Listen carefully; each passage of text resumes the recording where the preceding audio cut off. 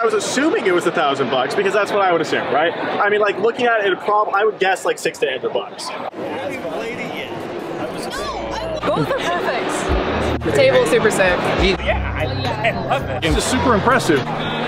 Yeah, I love the table. It looks super cool. I love the attachments and all the pieces. You can use this whole spot for like D&D, no. and then you can put your snacks here. You can add things Functional, it's modular, and it's like reasonably priced. I do like how it is, um, you're able to fold it up in some That's awesome. Oh yeah, it's way sturdy. A good gaming table, you kind of need one. That's a really cool way to do that. It's very convenient. Yeah, the table's like perfect. Oh, that's perfect. No, I'm I'm buying this second. I'm like I'm backing. Seriously, that's a no-brainer.